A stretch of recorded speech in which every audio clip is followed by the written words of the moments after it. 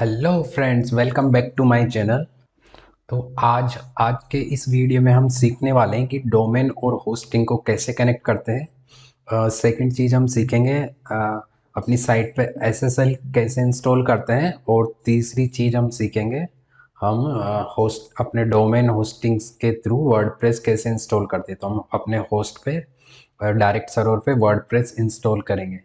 तो मैं एज्यूम करके चल रहा हूँ कि आपने डोमेन और होस्टिंग बाय कर लिया होगा राइट तो अभी बात करते हैं डोमेन की। तो डोमेन आप कहीं से भी खरीद सकते हैं। मैंने नेम चिप से ख़रीदा है तो सबसे सस्ता डोमेन आपको नेम चिप में ही मिलेगा। तो आप कहीं से भी खरीद सकते हैं नो इशू गो डेडी या बिग्रो कहीं से भी खरीद सकते हैं।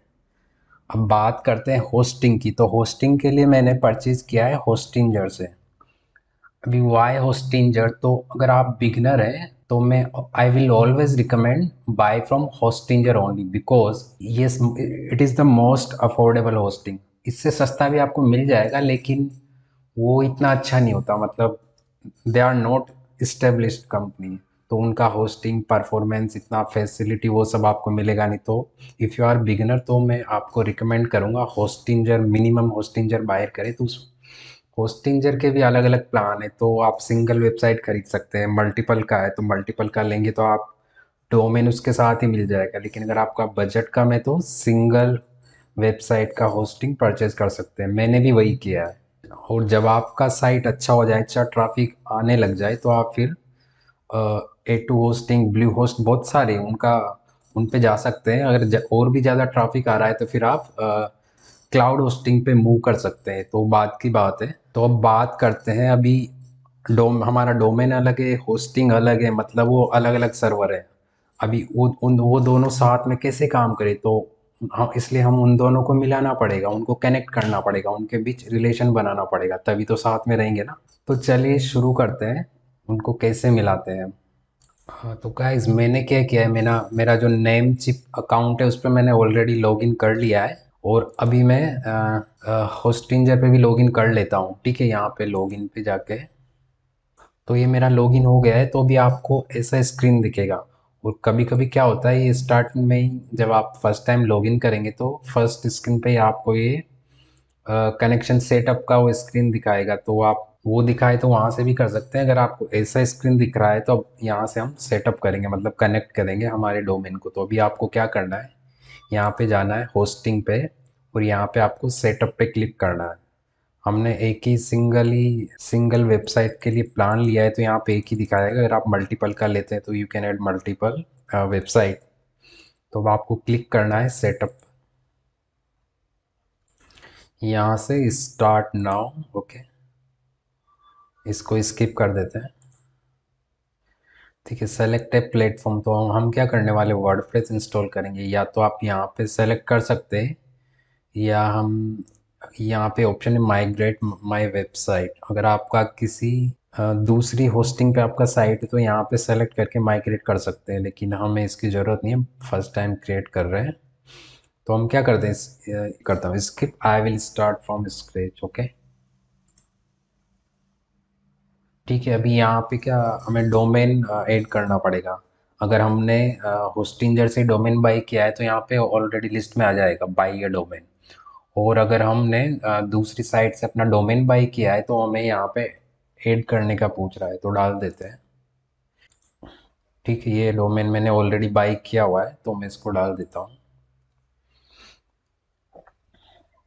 और इस पर क्लिक पे क्लिक करना है तो अभी यहाँ पे यूज़ एक्सेस ठीक है तो ये मेरा एक्टिव डोमेन है। यहाँ पे चेंज भी कर सकते ठीक है तो यहाँ पे उसका सारा डिटेल दिखा रहा है, कहाँ से परचेज़ किया है, मैंने नेम चिप से परचेज़ किया है। तो अभी यहाँ पे आपको क्या दिख रहा है नेम सर्वर दिख रहा है। तो या तो आप अभी इसको नोट डाउन कर सकते हैं, या हम वहाँ बाद में भी इसको एक्सेस कर सकते हैं। तो ये नेम सर्वर हमें हमारे जो डोमेन है, वहाँ पे एंटर करना पड़ेगा कनेक्ट करने। ठीक है, या तो भी आप इनको सेव कर लीजिए नोट पैड में कहीं पे, या हम बाद में भी ये वैल्यू चेक कर सकते हैं कैसे एक्सेस करना है। तो अभी मैं क्लिक करता हूँ कंटिन्यू पे। अभी ये मुझसे पूछ रहा है सर्वर लोकेशन तो अभी ये जो जो लोकेशन जिस जिस लोकेशन पे ये होस्टिंग होस्टिंजर का सर्वर लोकेटेड है तो हमें वो सर्वर चूज़ करना है। तो यहाँ पे कहाँ कहाँ इसका सर्वर अवेलेबल है? एशिया, अगर मैं इंडिया में हूँ तो सिंगापुर, यूरोप तो ये जहाँ जहाँ इसका सर्वर अवेलेबल होगा, वहाँ की लोकेशन बताएगा। तो अभी ये डिपेंड करता है आपकी साइट में मतलब आपका ज़्यादा ट्रैफ़िक कहाँ पे आएगा। जैसे अगर मेरी साइट का टारगेट ऑडियंस अगर सिर्फ़ इंडिया है तो मैं नियर बाई इंडिया का सर्वर सेलेक्ट करूँगा तो मेरा स्पीड फास्टर रहेगा। सपोज़ अगर आप अमेरि, अमेरिका की ऑडियंस के लिए अगर आपकी साइट वहाँ की ऑडियंस के लिए तो आपको ये सर्वर चूज़ करना तो आपका साइट फास्ट रन होगी। मतलब जल्दी लोड होगी। जितना सर्वर नज़दीक होगा तो वहाँ पे उतना जल्दी साइट लोड होगा। तो आप अकॉर्डिंग योर रिक्वायरमेंट आपका टारगेट ऑडियंस या ट्रैफ़िक कहाँ से चाहिए तो उसके अकॉर्डिंग आप अपना सर्वर चूज़ कर सकते हैं। तो लेट से जैसे मुझे अपनी साइट का मोस्टली ट्रैफ़िक इंडिया से ही चाहिए राइट तो मैं इंडिया ही ये एशिया चूज़ कर लेता हूँ। Change okay finish setup okay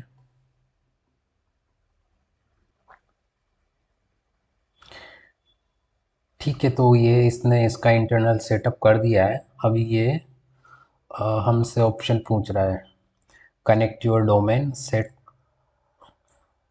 मतलब अभी हमने डोमेन को कनेक्ट नहीं किया है। यहाँ पे view your website and control cPanel right चूँकि अभी हमने कनेक्ट नहीं किया है। अगर हम व्यू वेबसाइट करेंगे तो अभी हमें कुछ दिखेगा नहीं बिकॉज़ ये कनेक्ट ही नहीं हुआ है राइट और यहाँ पे हम जाके ये कंट्रोल पैनल है। तो अभी ये सी पैनल ये अब सी पैनल के थ्रू हम सारा मैनेज हम सी पैनल के थ्रू ही करेंगे राइट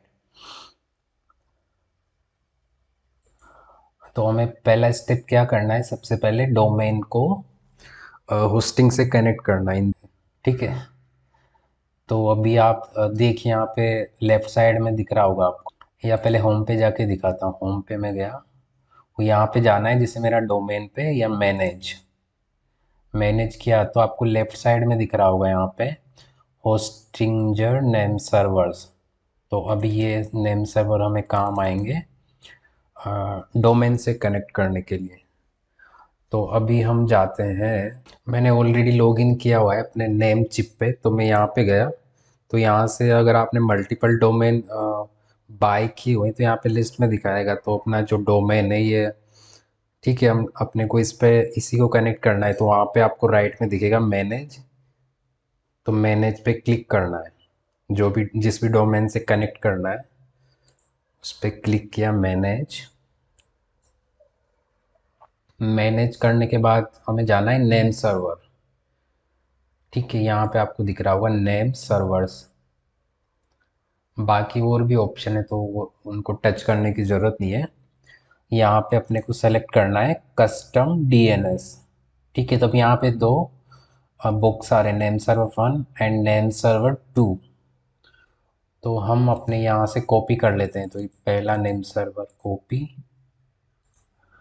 और यहाँ पे paste now second one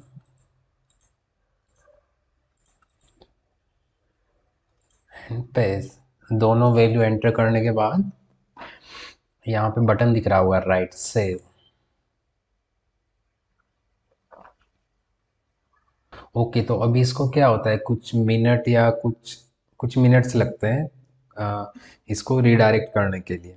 कभी कभी मिनट लगते हैं कभी कभी हार्स भी लग जाते हैं, एक घंटा, दो घंटे बट मोस्टली अभी लगता नहीं मिनट्स में हो जाएगा, पाँच मिनट टेन मिनट तो हम एक बार जाके चेक करते हैं अभी। होस्टिंग मैनेज ठीक है, अभी यहाँ पे your website preview is ready तो यहाँ से हम प्रीव्यू भी चेक कर सकते हैं। मतलब एक कनेक्शन इस्टेब्लिश हो चुका है। अभी हमें क्या करना है? अभी, लेकिन अभी हम चेक करेंगे फ्रंट में जाके तो कुछ नहीं दिखेगा राइट फ्रंट में अभी कुछ नहीं दिखेगा बिकॉज़ हमने क्या किया है अभी? वर्ड इंस्टॉल नहीं किया है। जब हम इंस्टॉल करेंगे तभी वो रिफ्लेक्ट होगा। तो अब हम करने वाले हैं वर्ड इंस्टॉल होस्टिंग में इस सर्वर पे। वापस इस स्क्रीन पे आना है। जैसे अभी मेरा सिंगल वेबसाइट अगर मल्टीपल वेबसाइट होती तो यहाँ पे लिस्टिंग होती, लेकिन हमारे पे पेज में सिंगल है तो तो हमें क्लिक करना है मैनेज पे और स्क्रॉल करना है। तो ये क्या है सी पैनल है? तो यहाँ पे बहुत सारे आप देख रहे हैं ऑप्शन है। Change password details email account तो बाद में देखेंगे हम। हम सब डोमेन भी क्रिएट कर सकते हैं तो उसके लिए अलग से वीडियो बनाऊँगा सब डोमेन कैसे क्रिएट कर सकते हैं हमें बाकी ऑप्शन छोड़ना, यहाँ पे जाना है वेबसाइट और यहाँ पे आपको दिख रहा होगा ऑटो इंस्टॉलर तो यहाँ पे या तो हम इस पर क्लिक कर सकते हैं वर्ड पे या ऑटो इंस्टॉलर ऑटो इंस्टॉलर पे क्लिक करेंगे तो ये हमें ऑप्शन देगा, हम क्या क्या इंस्टॉल कर सकते हैं। जैसे WordPress WordPress with WooCommerce Joomla जो भी अदर इसके प्रोडक्ट है। तो हम या तो वहाँ से कर सकते हैं क्लिक या यहाँ यहाँ आके हम क्लिक कर सकते हैं। तो हम यहाँ पे क्लिक करते हैं select WordPress overwrite existing file अब यहाँ पे जो एडमिन जो रहेगा हमारा वर्ड प्रेस का, उसका हमें एडमिन यूज़र नेम और एडमिन पासवर्ड डाल डालना पड़ेगा। तो मैं एडमिन ही डाल देता हूँ अभी। या मैं डाल देता हूँ जो हमारा डोमेन नेम है। ठीक है? पासवर्ड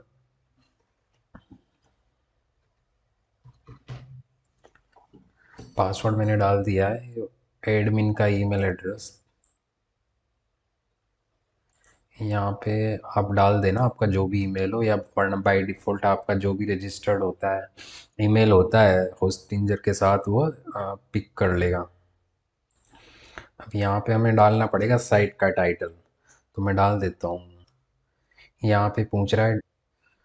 तो यहाँ पे हम पासवर्ड डाल सकते हैं या ब्लैंक भी छोड़ सकते हैं, देखते हैं। यहाँ पे आपको देखिए तीन ऑप्शन दिख रहे होंगे। Turn off automatic application update update only to minor version always up to latest available version तो हम क्या करते हैं, हमारा जो वर्ड प्रेस में क्या अपडेट आते रहते हैं तो अगर हम ये सेट करेंगे ऑलवेज अपडेट टू लेटेस्ट तो ये ऑटोमेटिक अपडेट कर देगा बैकएंड से हमें मैनुअली जाके अपडेट नहीं करना पड़ेगा। या अगर इसको टर्न ऑफ़ कर देंगे तो ये हमें फिर मैनुअली जाके अपडेट करना पड़ेगा। या तो हम सी पैनल के थ्रू कर सकते हैं या वर्ड से कर सकते हैं। तो वो हम इसको क्या करते हैं अभी turn off automatic turn off कर देते हैं। ठीक है तो मैंने पासवर्ड डाल दिया इसके हिसाब से इंस्टॉल ओके तो ये इंस्टॉलेशन हो गया है इसका। तो आप देख सकते हैं यहाँ पे जो ये डोमेन जो डोमेन कनेक्ट हुआ है, ये बहुत सारे ऑप्शन दिखा रहा है यहाँ पे। फ्रेज अपडेट यहाँ से हम आप चेंज कर सकते हैं। हमने क्या है, अभी ऑटोमेटिक अपडेट डिसेबल कर रखा है। तो यहाँ से अगर मैं जाके इसको डोंट अपडेट या वॉट या ऑटोमेटिक अपडेट कुछ भी कर सकते हैं। ठीक है? रोस्टिंग कनेक्ट हो चुका है सर्वर अब हम क्या करते हैं, अपनी साइट पे जाके देखते हैं। तो यहाँ पे राइट में ऑप्शन दिख रहा होगा एडिट वेबसाइट तो इस पर क्लिक करिए आप। तो ये कहाँ रिडायरेक्ट हो रहा है अभी? डोमेन पे। इसका फ्रंट देखते हैं कैसा दिख रहा है। ठीक है तो इसने क्या किया, जो बाय डिफ़ॉल्ट थीम है, वो इंस्टॉल इंस्टॉल होती है वर्डप्रेस के साथ। बाय डिफ़ॉल्ट थीम जो भी आती है, वो इंस्टॉल है और ये फ्रंट में ये ऐसा दिख रहा है। ठीक है तो ये हमारा कनेक्शन कंप्लीट हो चुका है। हाँ अभी अभी क्या बाकी है हमारा? एस एस एल तो अभी आप देख रहे हैं यहाँ पे ये ऐसा कुछ दिख रहा है आपको। क्या दिखा रहा है? नोट सिक्योर मतलब हमने अभी एस एस एल इंस्टॉल नहीं किया। है अभी एस एस एल क्या होता है? ये अपनी साइट को एक्स्ट्रा सिक्योरिटी लेयर होता है। तो सिक्योरिटी प्रोवाइड करता है हैकिंग वगैरह से लिए। तो ये क्या करता है? डेटा को एनक्रिप्ट कर देता है प्रोटेक्ट कर देता है। तो अब हम क्या, अब हम करते हैं इस पर एस एस एल इंस्टॉलेशन तो अभी दिख रहा है ना नोट सिक्योर ही और ऐसा आइकन आ रहा है। तो हम क्या करते हैं, हमारे सी पैनल में जाते हैं। तो आप यहाँ पे देखिए, यहाँ पे भी ऑप्शन दिखा रहा है S S L certificate setup तो यहाँ पे भी क्लिक कर सकते हैं। या अगर आप टॉप मेनू में जाएँगे तो यहाँ पे भी दिखा रहा है एल यहाँ से भी जा सकते हैं। तो यहाँ पे भी जाएँगे तो आपको ऑप्शन दिखेगा सेटअप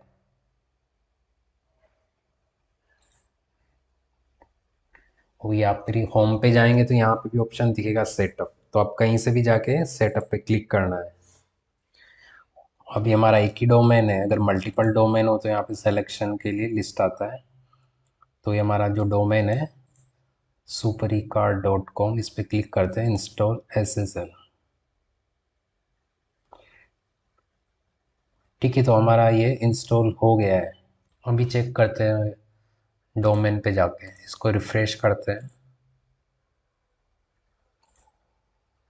अभी रिफ्लेक्ट नहीं हुआ है, ठीक है? थोड़ा वेट करते हैं। ठीक है तो ये कुछ मिनट्स लेता है। अभी यहाँ पे आप देखिए एक्टिव हो चुका है। अभी एक्टिव हो गया फिर से रिफ्रेश करते हैं। ओके तो अभी यहाँ पे आ गया ना, लोक आ गया। पहले वो नोट सिक्योर आ रहा था। तो आप देखिए, यहाँ पे आपको डिटेल भी दिखाएगा। कनेक्शन इज़ सिक्योर ओके तो हमारा ये आज का वीडियो कंप्लीट हो चुका है। अगर आपको कोई क्वेरी हो तो आप कमेंट में पूछ सकते हैं। और अगर आपको वीडियो पसंद आए तो वीडियो को लाइक करना और चैनल को सब्सक्राइब ज़रूर कर लेना। और शेयर करना अगर किसी को इसकी ज़रूरत है तो ठीक है? तो मिलते हैं अभी अगले वीडियो में, तब तक बाय।